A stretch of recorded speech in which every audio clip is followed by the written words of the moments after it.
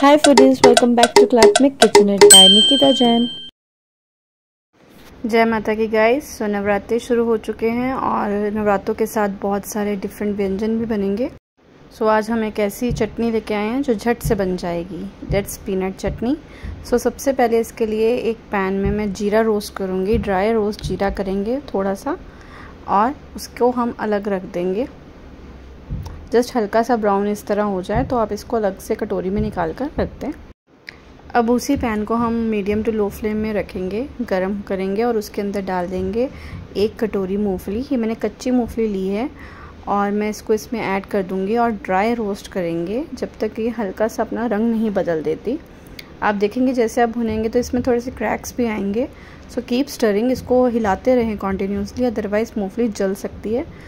नवरात्रों में आप ये चटनी बनाएँ और इसको वड़ों के साथ खाएँ या जो हम डोसा बनाते हैं साबुदाना का, उसके साथ खाएँ, ये बहुत डिलीशियस लगेगी। और इसी के साथ मैंने इसमें ऐड कर दी हैं दो लाल सूखी हुई मिर्चें।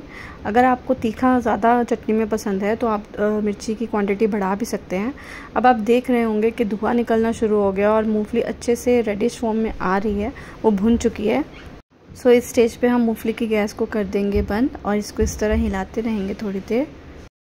ध्यान रखिएगा कि हमें इसे बहुत ज़्यादा लाल नहीं करना है, बस हल्का सा भुनना है, जिससे मैं आपको दिखा रही हूँ इस वीडियो में। बस हल्का सा रेडिश आएगा और जब ये ठंडी हो जाए, तब हम इसको ग्राइंडर जार में ट्रांसफ़र कर लेंगे। ये चटनी हार्डली पाँच से दस मिनट में आपकी बन जाएगी और आप नवरात्रों में इसे बहुत इन्जॉय करेंगे। So do prepare this.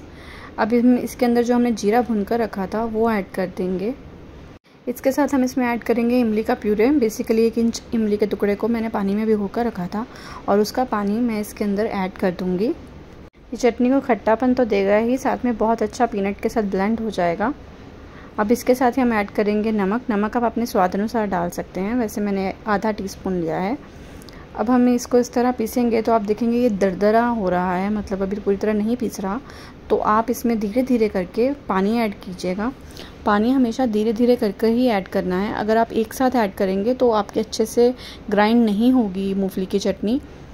कुछ इस तरह की कंसिस्टेंसी हमें चाहिए और पानी अकॉर्डिंग टू मूंगफली अलग अलग क्वांटिटी में लग सकता है। कईयों का ज़्यादा और कईयों का कम भी लग सकता है। सो मेक श्योर आपको इसी तरह की थिकनेस चाहिए होगी।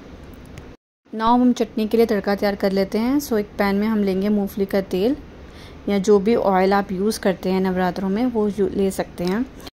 जब ये हल्का सा गर्म हो जाएगा तो आप इसके अंदर ऐड करें हाफ़ टी स्पून जीरा नॉर्मल जीरा जो घर पे होता है, ये वही है। और उसको मैंने ऑयल में ऐड कर दिया है। और इसके साथ सात से आठ कड़ी पत्ता लीव्स जिसको मैंने वॉश करके फिर इसमें ऐड किया है। आप चाहें तो ये तड़का चटनी के ऊपर भी डाल सकते हैं, पर मैं इसको प्रेफरेबली चटनी के साथ मिक्स कर कर ही खाना पसंद करती हूँ। तो हम सारा जो चटनी का हमने बैटर बनाया था, वो इस तड़के के डाल देंगे और इसको अच्छे से मिक्स कर लेंगे। और हमारी पीनट चटनी यानी मूंगफली की चटनी बनकर तैयार है नवरात्रों में खाने के लिए। So do try this recipe ये बहुत यमी लगती है। इसके इंग्रेडिएंट्स और सब कुछ मैंने लिख दिया है लास्ट में so do take a screenshot of this recipe and to try this recipe और आप ट्रस्ट मी आप नवरात्रों में ये चटनी हर बार बनाएँगे और हर बार खाएँगे। Thank you for watching my recipe to like share and subscribe bye bye